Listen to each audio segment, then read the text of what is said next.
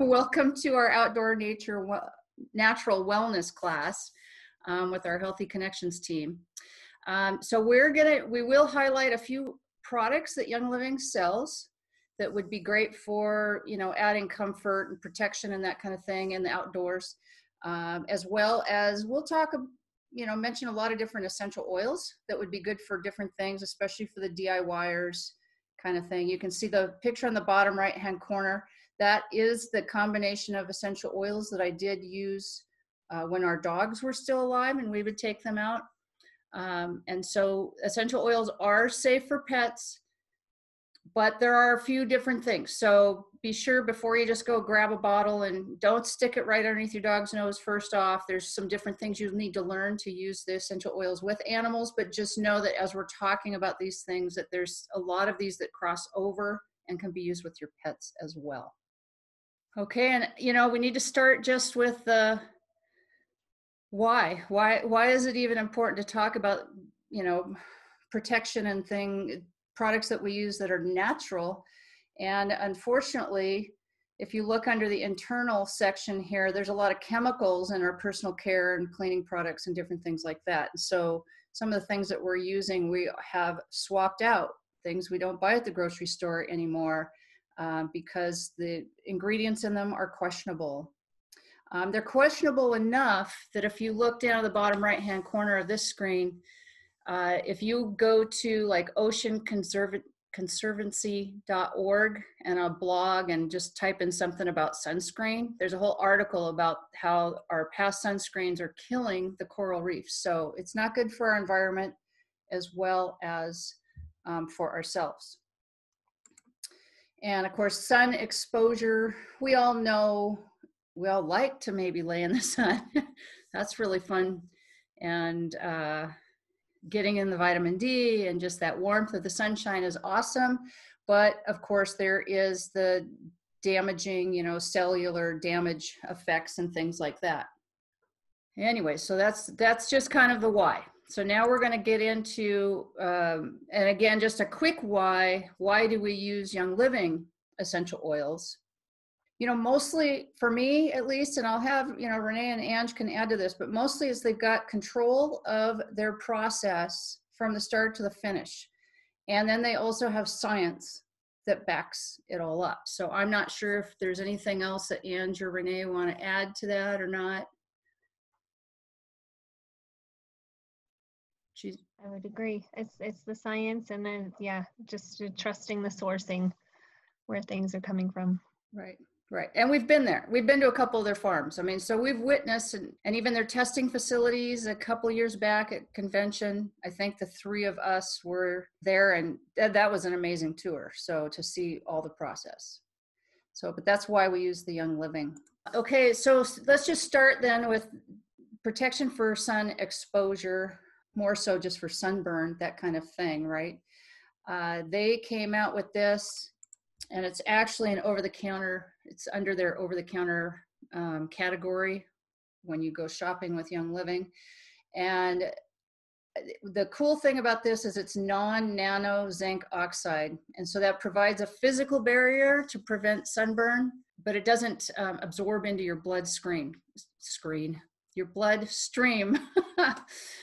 And and the other thing that to note about this is that it's reef safe, unlike other commercial sunscreens. I know there are a few other reef safe sunscreens out there. I know when we were in Hawaii uh, over a year ago, we went on a boat tour and they were big on that, you know, and so they they the, the guys on the boat they had some it wasn't necessarily young living but they were looking at mine too and they liked it so yes let's see i'm gonna what i'm gonna do now renee are you ready to share that video okay so i'm gonna stop and renee is gonna just show you a quick video on young living sunscreen yeah i really like this video because it goes into a little bit of the science i mean i had never really thought about how sunscreen works or how to compare other sunscreens to this one. So this just shows a really good, let me share my screen.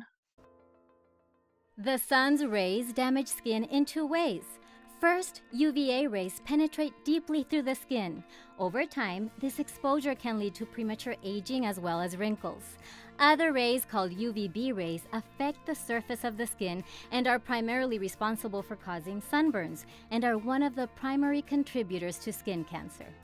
To ward off these harmful effects, many sunscreens use synthetic chemicals such as avobenzone, octisalate, and oxybenzone to absorb these harmful rays and prevent damage. Other products use nanoparticles to block UV rays because these tiny particles can be smoothly applied to the skin and vanish quickly upon application. However, nanoparticles can also be absorbed into cells and the bloodstream where they may have unknown effects. Young Living takes a different approach. By using non nanoparticles of zinc oxide coated with jojoba esters in Young Living's mineral sunscreen lotion, their scientists were able to create a lightweight, invisible, mineral based barrier that provides broad spectrum protection by blocking both UVA and UVB rays.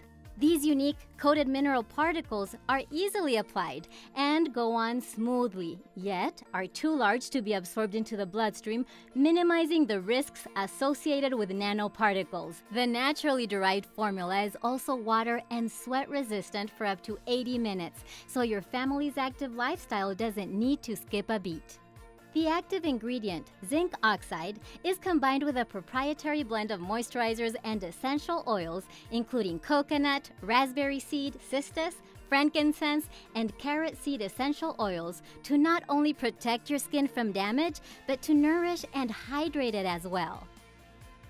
With Young Living's mineral sunscreen lotion, I can protect my entire family from the harmful effects of the sun, and I don't have to worry about harsh chemicals and skin irritation.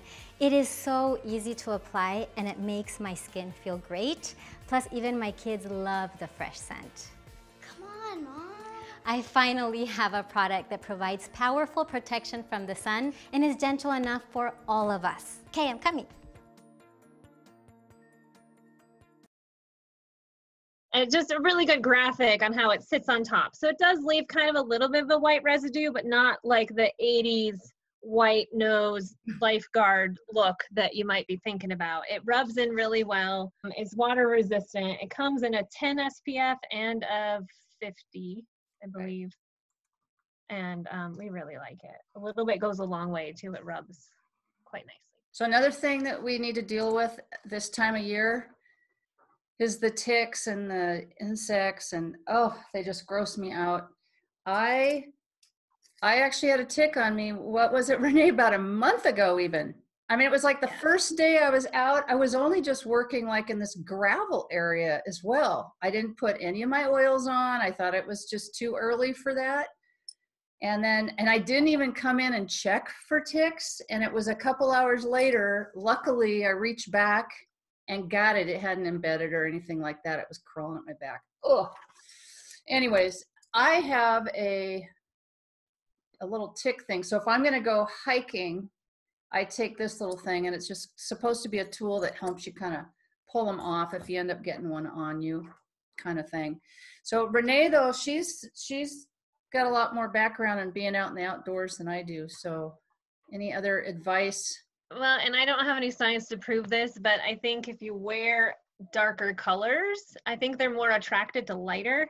Oh, wait, let me get this straight. No, it's, it's you have it it backwards. Yeah, you got have that backwards, right. Yeah. yeah. They're more attracted to darker colors. So Right. if you wear lighter colors when you're out hiking, and I have seen it, I have watched, yeah, I have seen certain people wear different colors and others get ticks. And um, it's worked well for me. If I wear light colors, then I seem to not find as many. Right. And the other advantage Um, is then you see them easier. Correct. Yeah. Yeah. Yeah. Yeah. So we like to apply um, the insect repellent around our ankles. And I always do kind of the base of my hairline because that's often where they like to dig in. Right. Um, if you have pets, you can put a little on and kind of just Pet them. either Yeah. yeah pet them down or um, if you have a spray, you could also use. And I forgot about the wipes. The So wipes. Yes. single wipes available as And well. They're pretty cool. So here's the thing. They're also they're kind of pricey per package. You know, I mean, you get a package and then you get a bunch of them in the package. So these little packages, they're great for packing though. You know, you can pack a couple extra depending on how long you're going to be out. But here's my little hack on what I do, right? Because you have to rip open the package, you use it. There's quite a bit on the wipe.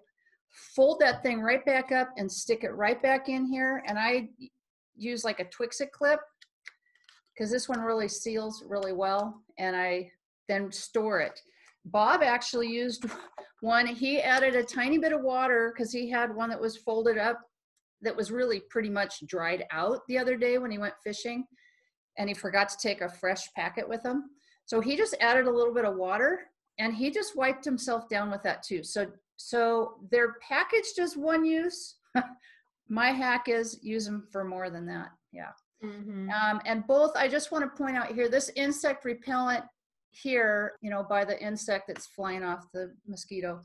This one is liquid. That one came out first, and then the wipes came out later. So I am not positive if we can claim on the liquid one whether or not it is, because um, on this package it says effective against mosquitoes and ticks.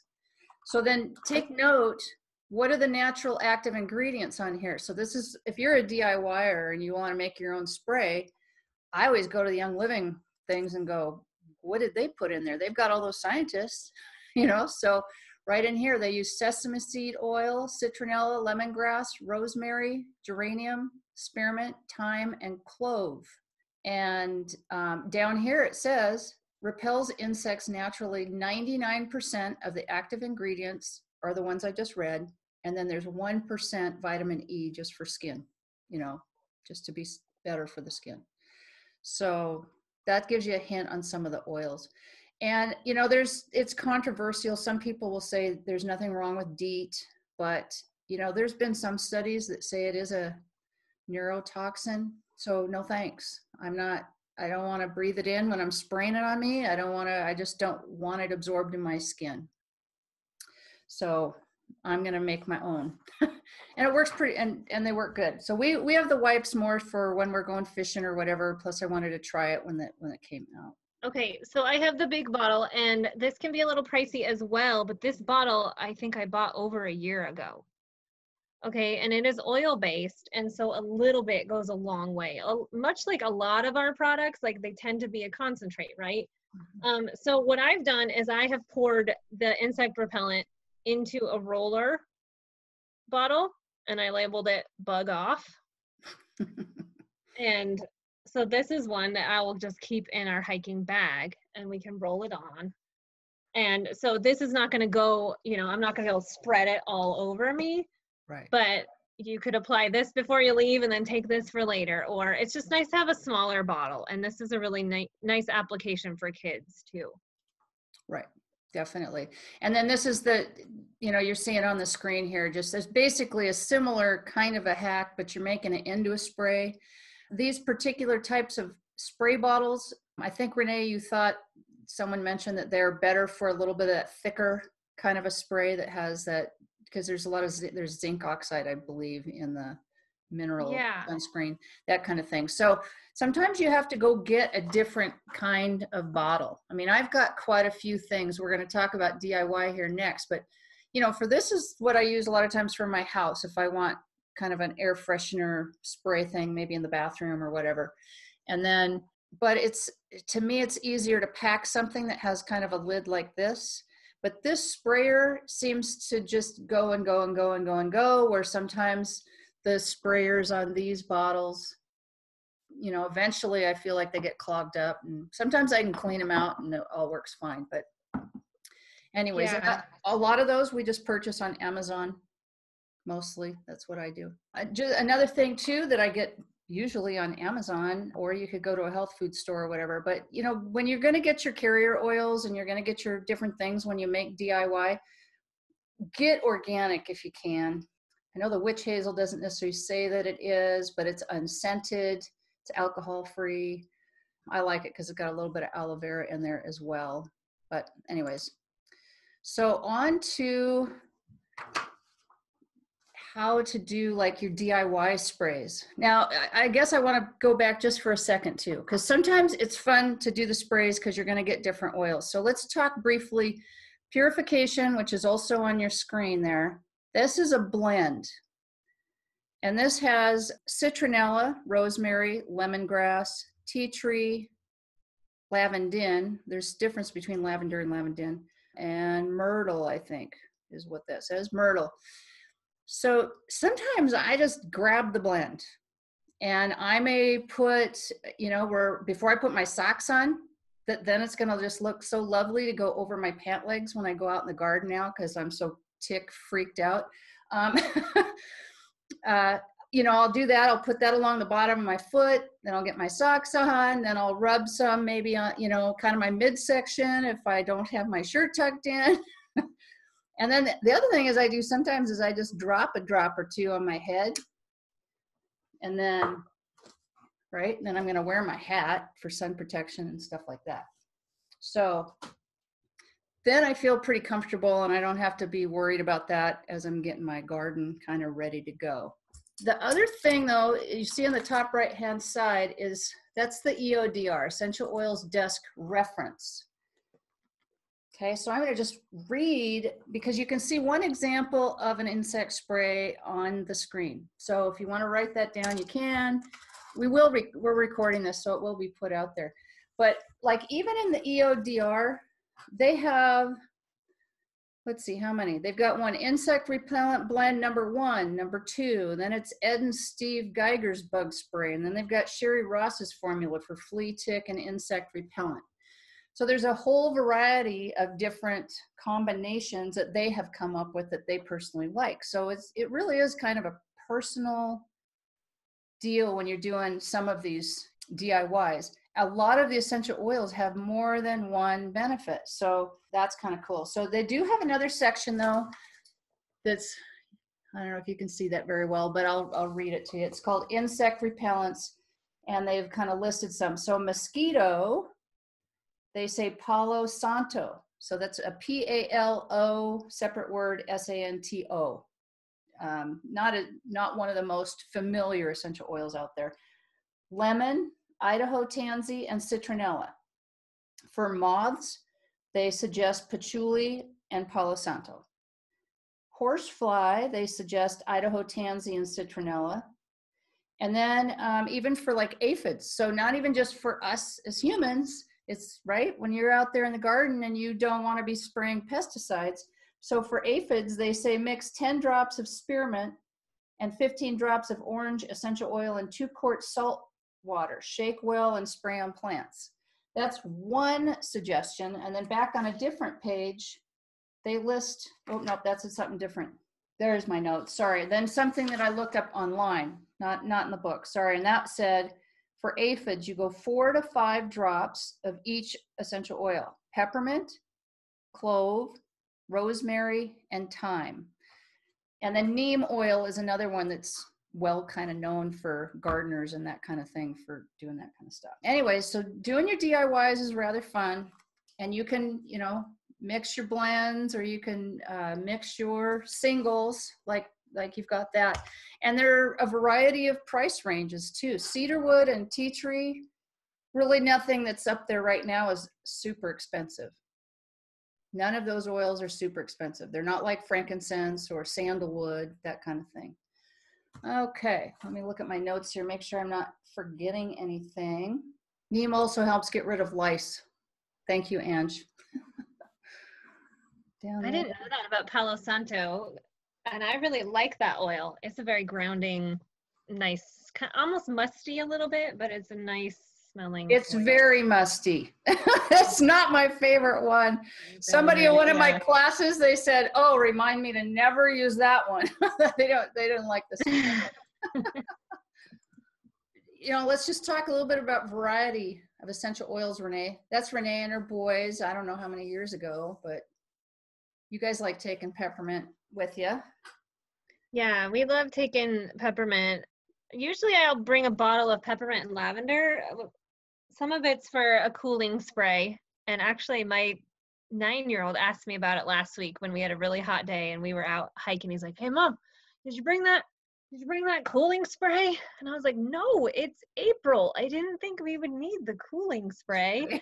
I don't even know where it is but i was just really impressed that he recognizes that it works. Peppermint kind of helps your body regulate your temperature and so i spray we spray that on our necks and kind of the back of our head You, you- really you know what else those two oils in that spray would be beneficial for? This type of year when the, a lot of pollen is in the air and some people are more sensitive to that. Those, those two oils are both listed on recommendations for that, along with some eucalyptus and uh, chamomile and frankincense, lemon. The, the other, the blends they put on there is uh, interesting. Well, Raven, of course.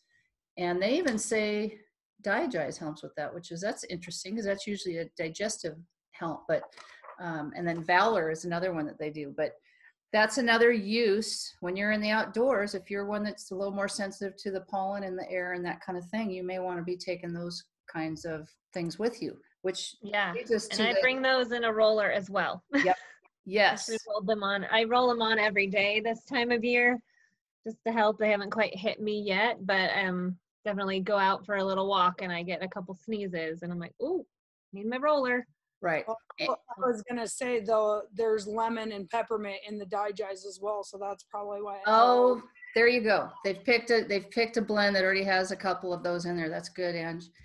You know, the other thing too is, and having the roll-ons is good, uh, or the sprays, is that what if you do get a bite or a sting?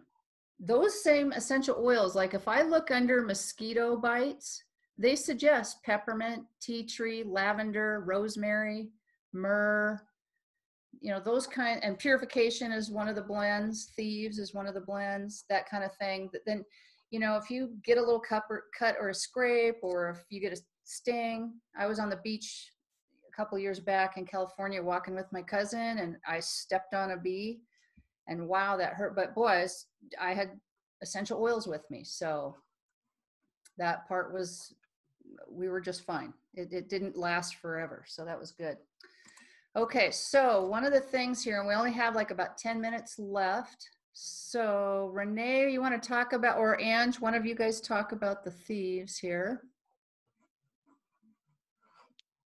Or um, so the Thieves Spray, the small one that you see, that one is really great for any travel on the go. I use it more as okay, so it's not really like an all-purpose cleaner. It's more of just like a cleaning spray. So I might just spray it on my hands real quickly, especially like the age we're living in right now. So I go somewhere, maybe I touched a door handle or something, then I'm gonna grab that, spray it, and so it acts more like a sanitizer. Um, they don't call it that, but um, that's a lot often how I use it. So it can kind of just sanitize some different surfaces. You can, you know, laundry or not laundry, grocery carts, doorknobs, car wheels, any of that kind of thing. And the waterless hand sanitizer, which is only available like once a week right now, I think is what they're doing. It's not fully in stock because they're trying to control people hoarders. which I really appreciate. And and one thing that happened was the bottle that they typically put this larger hand sanitizer in, I believe, is made out of the country, and they had didn't have access to it. That's, So yeah, what they it did is. they they looked outside of the box and they said, well, what do we have excess of? And so they grabbed this other massage, the brown bottle you see down in the left corner. That's um, commonly used for a lot of the massage oils. And they grabbed that and slapped the thieves label on it. And so they're just being really resourceful and and using what they have.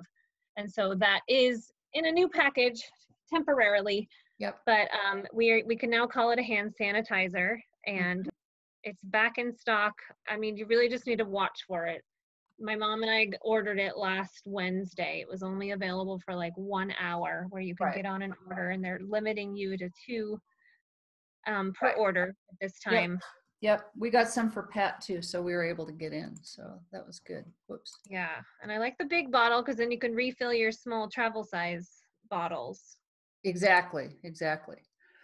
So we're going to kind of zip through the next couple slides though, just because, you know, mostly we want you to just know, because maybe you don't. Young Living's got like over 600 products. It's so easy to transfer what you normally buy in the grocery store to then transfer it into your essential rewards order.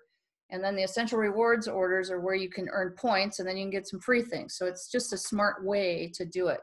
But they've got great things for on the go. You know, those Ningxia, the two two ounce packets of Ningxia, and I like their little thing that they go for added refreshment on a hot day outdoors. Freeze a few the night before. That's awesome. I love their einkorn granola, and I like the Wolfberry bars. I am not a huge fan of the Slique bars, but and I haven't tasted the protein bars yet. Oh, you've got oh, and they're Ningxia nitros. Yes, very good and just got Ningxia Nitros on there. Those are really good for that. You need that added little jump during the day. Let's move on. Hydration. They just came out with this Young Living Vitality Drops. That's what I put. I've been using that. I need extra electrolytes and that kind of thing. And so I've been putting that in my uh, water bottle. And it is better. It's pretty strong. So I'll put it in a water bottle that size.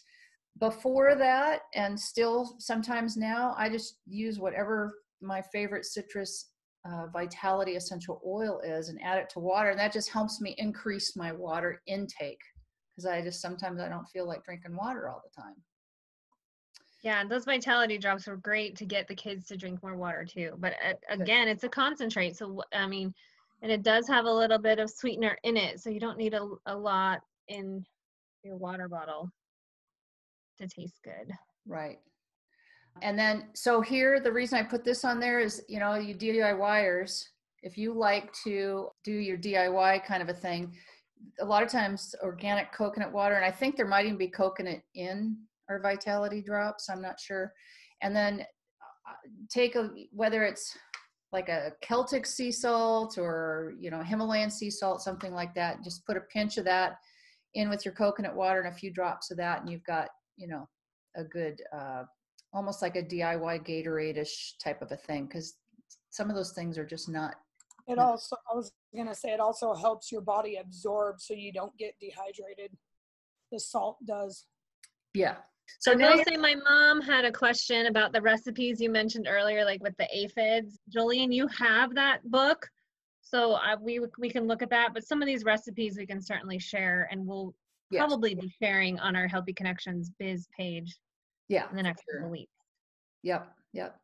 So now that you're back home, just know again, not everybody knows this. We have a ton of personal care products Young Living does, both for men, you know, if the men don't want the lavender smelling shampoo or whatever, you know, the Thieves foaming hand soap, all that kind of stuff. So, you know, getting yourself cleaned up, that's easy to do, you know, by shopping in your essential rewards cart.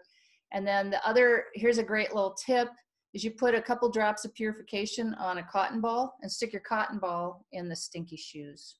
This is just to remind you, again, once you're in, you're checking to make sure you don't have ticks on you while you're out, but as soon as you're home and you're getting washed up, be sure you check for the ticks, okay? Uh, let's see, and then after, if you actually were out in the sun too much, we have a variety of things you could do. You've got the um, one there that's the over the counter medicine. So it's got strong enough, whatever essential oils in, in there that they can use the word pain over there, immediate relief from pain associated with sunburn. Or you could go the lighter version with the Lavaderm cooling mist, or of course, you can make your own cooling mist as well. And you would just look up any of the skin supportive essential oils to add to that. And again, we have the word pain up there. So that's another over the counter category uh, in the category that Young Living has. It's over the counter called Cool Azul Pain Relief Cream. And I use that quite often actually, but they've got a variety of things. I mean, it's, you know, uh, de- the deep relief roll on that's super easy to take in your backpack with you or when you're going to work out. They've got the massage oils. Um, and now we've got the CBD muscle rubs stuff like that, right? Um, and of course, DIYers, you can make a foot soak or you could just do a whole, you know, bath soak, adding a little bit of um, Epsom salt, maybe a little bit of baking soda. And it says we have less than a minute, so I'm going to zip. There's also lots of supplements available through Young Living that are going to target different things for your musculoskeletal system. right? So on our website, you can go and if you click on any of those pictures for that particular body system, you're going to see supplements that are suggested, essential oils that are suggested, all kinds of products like that. And be sure to treat yourself with some healthy options, right? Whether you're using your Ningxia or your vitality oils and making your own shaved ice, that kind of thing. And we really appreciate you guys joining us.